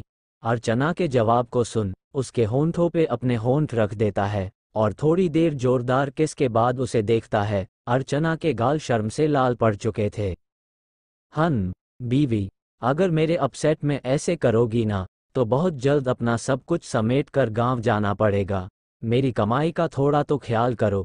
अर्चना का मुँह बन गया ये सुनकर, वो चिदते हुए बोलती है। तो इसमें आपकी गलती है ना? मैं तो खर्च करूँगी और करूँगी, बहुत ज़्यादा करूँगी। आप देखना। अर्चना के मासूमियत भरी बातें सुनकर अभिजीत मुस्कुरा देता है और उसके गाल पे अपने होंठ सहलाते हुए अचानक से ज़ोर से काट लेता है। जिससे अर्चना की आह निकल जाती है और वह घूर कर अभिजीत को देखने लग जाती है। अभिजीत स्माइल करते हुए कहता है, तुम्हारा ही तो है सब कुछ। मैं और मेरे पैसे सब तुम्हारे ही तो है। तुम जो चाहो करो, पर आज के इतने खर्चे का हिसाब तो देती जाओ। अभिजीत के कहते जी अर्चना आश्चर्य से उसे देखने लगती है, जैसे कि वह सोच रही हो, कैसा हिसाब, लेकिन अगले ही पल अभिजीत के चेहरे के खिले सरकास्टिक हँसी और रंगत को देखकर वह सब समझ जाती है। नहीं, आप ऐसा वैसा कुछ नहीं करेंगे, समझे आप? अर्चना शर्माते हुए बोली, अभिजीत उसके होंठों को तरफ़ झुकते हुए बोला। नहीं, मैं तो करूँगा, ऐसा वैसा अर्चना अभिजीत के कहने पर मासूम सा फेस बनाकर उसे देखने लगती है। तभी अभिजीत उसके सॉफ्ट से होंठों को अपने सख्त होंठों के गिरफ्त में लेकर सॉफ्टली किस करने लगता है। अर्चना अभिजीत के सॉफ्ट किसमें खुद को भूलने से लगी थी। अभिजीत का ये अपना स्टाइल था। इस वक्त रात थी, पर अभिजीत को इन सबसे कोई फ़र्क नहीं पड़ रहा था। ये भी नहीं कि अर्चना इतनी रात होने के बाद अलसाई हुई होगी, नींद के आगोश में जाने को बेकरार होगी। पर अब मानो जैसे दोनों ही अपने मोहब्बत के समुद्र में होते लगाने लगे थे, यही तो होता है नए प्यार का नया नया खुमार, दिन हो रात, कुछ दिखाई नहीं देता है। दूसरी तरफ़, हॉस्पिटल में, लियो ने मीरा को एडमिट कर दिया था। करीब एक घंटे के बाद डॉक्टर बाहर आए और सब कुछ ठीक है का बोल चले गए। रणबीर के कारण आज मीरा की जान बच गई थी। लियो जो कि मीरा की जान बच जाने पर काफ़ी खुश था, वह रणबीर से कहता है थैंक्स अगर आप नहीं होते तो शायद आज मेरी मीरा मेरे पास नहीं होती। मैं शुक्रगुजार हूँ आपका। बताइए आपको क्या चाहिए इसके बदले में? आप जो चाहे मैं दे सकता हूँ। रणबीर ये सुनकर मुस्कुराया और बोला, मुझे कुछ नहीं चाहिए। मेरा एक काम करना होगा तुम्हें। मेरे साथ लखनऊ चलना पड़ेगा। रणबीर के कहते ही लियो रणबीर को अजीब निगाहों से देखने लगा। नहीं, मैं तो करूँगा। ऐसा वैसा। अर्चना अभिजीत के कहने पर मासूम सा फेस बनाकर उसे देखने लगती है। तभी अभिजीत उसके सॉफ्ट से होंठों को अपने सख्त होंठों के गिरफ्त में लेकर सॉफ्टली किस करने लगता है। अर्चना, अभिजीत के सॉफ्ट किसमें खुद को भूलने से लगी थी। अभिजीत का ये अपना स्टाइल था। इस वक्त रात थी, पर अभिजीत को इन सबसे कोई फ़र्क नहीं पड़ रहा था। ये भी नहीं कि अर्चना इतनी रात होने के बाद अलसाई हुई होगी, नींद के आगोश में जाने को बेकरार होगी। पर अब मानो जैसे दोनों ही अपने मोहब्बत के समुद्र में होते लगाने लगे थे, यही तो होता है नए प्यार का नया नया खुमार, दिन हो रात, कुछ दिखाई नहीं देता है। दूसरी तरफ़, हॉस्पिटल में, लियो ने मीरा को एडमिट कर दिया था। करीब एक घंटे के बाद डॉक्टर बाहर आए और सब कुछ ठीक है का बोल चले गए। रणबीर के कारण आज मीरा की जान बच गई थी। लियो जो कि मीरा की जान बच जाने पर काफ़ी खुश था। वह रणबीर से कहता है, थैंक्स। अगर आप नहीं होते तो शायद आज मेरी मीरा मेरे पास नहीं होती। मैं शुक्रगुजार हूँ आपका। बताइए आपको क्या चाहिए इसके बदले में? आप जो चाहे मैं दे सकता हूँ। रणबीर ये सुनकर मुस्कुराया और बोला, मुझे कुछ नहीं चाहिए। मेरा एक काम करना होगा तुम्हें। मेरे साथ लखनऊ चलना पड़ेगा। रणबीर के कहते ही लियो रणबीर को अजीब निगाहों से देखने लगा। मैं रणबीर सिंघानिया। लखनऊ से हूँ और मुझे तुम्हारी ज़रूरत है। रणबीर सीधे तौर पे बोला और अपना हाथ आगे कर दिया दिया। मैं लियो, ईल शेयर होल्डर का सीईओ, लियो हाथ मिलाते हुए बोला तो रणबीर सनाया और अपने बच्चे को उससे मिलवाता है। थोड़े ही देर में लियो के घर से उसकी माँ और उसके दादा के साथ साथ उसके दोस्त और इसका बड़ा भाई विश्वास आ जाता है। इधर लियो और रणबीर अकेले में बातें करने लगे थे। देखो मैं यहाँ तुमसे ही मिलने आया था, लेकिन इस तरह से हम मिलेंगे, ये अंदाज़ा नहीं था। हुनम, कब आना है? नेक्स्ट मंथ तब तक तुम अपनी बीवी का ध्यान रखो। हुनम, जो भी हो, तुमने कहा कि मुझे तुम्हारी मदद करनी है तो मैं तैयार हूँ। शुक्रिया, मुझे इसी की उम्मीद थी। अच्छा मैं चलता हूँ। सुबह हो गया है, और तुम्हारी बीवी जल्द ही ठीक हो जाएगी। बार बार बीवी शब्द सुकर लियो थोड़ा हिचकिचाते हुए कहता है, दरअसल हमारी अभी शादी नहीं हुई है। उद्धरण, रणबीर मुस्कुरा कर कहता है, नहीं हुआ तो हो जाएगा ना। पहले शादी कर लो और फिर आना। मैं तो कहता हूँ हनीमून लखनऊ में ही क्यों नहीं बना लेते हैं? तुम बनारस से अपनी नई ज़िंदगी का आगाज़ कर सकते हो। उद्धरण, लियो हंस देता है। तो रणबीर उसके कंधे को दबाते हुए मुस्कुरा देता है। रणबीर सनाया और अपने बेटे के साथ घर के लिए निकला जाता है। अजीब इंसान है यार, पर है कौन ये? लियो सोचने लगता है। तभी उसके पास विश्वास आता है और कुछ सोचते हुए रणबीर के बारे में पूछकर कहता है। अभी अभी जो इंसान तुमसे मिलकर गया है, वह चला गया। हाँ तो भाई, अभी अभी, क्या आप पहचानते हैं उन्हें? लियो कुछ सोचते हुए सवाल करता है तो विश्वास उससे कहता है। हाँ आर एस का बादशाह है। बस इतना समझ लो, चलता फिरता तोप है। विश्वास ये कहते हुए कुछ दिन पहले के आए कुछ पेचीदा खबरों के बारे में सोचने लगता है, जो उसे खुफिया तौर पर मिला था। क्या बोल रहे हैं? मैं कुछ समझा नहीं। लियो हैरत में डूबा सवाल करता है। तो विश्वास उसे बताता है, बिग टेबल के बारे में सुने हो। हाँ ना, पर उससे इसका क्या लेना देना? लेना देना है। क्योंकि यह राम सिंघानिया का बेटा है अंडरवर्ल्ड से है और बिग का असली वारिश बस इतन विश्वास का कहना था कि लियो की आँखें चौड़ी हो जाती हैं। उसे एकदम से कुछ धुंधली धुंधली चीज़ें याद आने लगती हैं। कुछ दिन पहले की ही बात है, जब एक अकेला आदमी, सबसे बड़े लीडर यानी एड को मार गिराया था। ये बात सब जानते थे, पर ये नहीं कि उसे मारा किसने है, क्योंकि इन बातों को सिर्फ़ अंडरवर्ल्ड तक ही सीमित रखा गया था। ये वही है। रणबीर, इसी ने एड मारा था। तो भाई फिर मैं इसे पहचान क्यों नहीं पाया? आश्चर्य में दुबा लियो कहता है तो उसे समझाते हुए विश्वास कहता है। क्योंकि इसका असली नाम रणबीर नहीं है। इसकी पहचान राम सिंघानिया से है और इसका असली नाम राघव सिंघानिया है। अंडरवर्ल्ड से लेकर बिज़नेस तक इसने खुद को एक कंफ्यूजन बना कर रखा है। यह नॉर्मल रहता है। अभी जैसे तुम्हारे सामने आया, नाम रणबीर। इसकी वजह से इसे कोई पहचान नहीं पाता। बस ऐसा समझ ले, ये एक ही है, पर इसके दो रूप हैं। राघव सिंघानिया, लियो आश्चर्य से पूरी बात सुनने के बाद नाम दोहराता है। वैसे क्या बोल रहा था ये?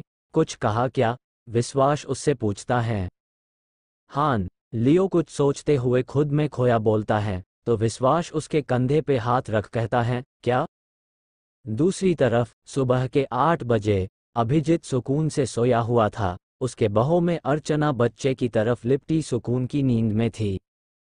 सूरज अपने सर पर था। कड़ी धूप शीशे से होकर दोनों के चेहरे पे आता है तो अर्चना अपने आँखों को मसलते हुए जाग देती हैं। अर्चना का समसाती जिस वजह से अभिजीत भी जाग जाता है।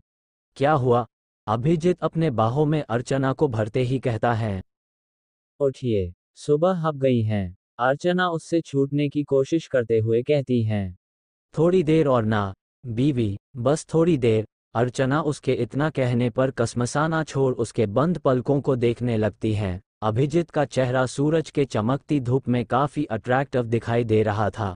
उसका चेहरा सूरज के लालिमा में दमक रहा था। अर्चना उसे गौर से देखने लगती है। देखते ही देखते कब उसके हाथ अभिजीत के चेहरे पे चले जाते हैं। उसे पता ही नहीं चलता। अर्चना उसे देखते हुए स्विक चेहरे को तो उसके बालों पे अपनी उंगलियाँ चलने लगती हैं, जिससे अभिजीत इरिटेट हो जाता है, वह अर्चना का हाथ हटाता है, लेकिन अर्चना फिर से वही करने करने लगती है, जिससे अभिजीत पूरा खींच जाता है। अर्चना को उसके चेहरे पे बनते बिगड़ते भावों को देखकर काफ़ी अच्छा लग रहा था। अभिजीत को परेशान करने में अर्चना को मज़ा सा आने लगा था, वह मुस्कुराने लगी थी। कि तभी अभिजीत झटके से अर्चना के ऊपर आ उसके दोनों हाथों को दबा ओपकर तकिए के पीछे कर देता है। अर्चना एकदम से चौंक जाती है, उसकी आँखें एकदम से बड़ी बड़ी हो जाती हैं, और दिल तेज़ी से धकने लगता है, साँसें रुक सा जाता है। अभिजीत उसके आँखों में देखे जा रहा था।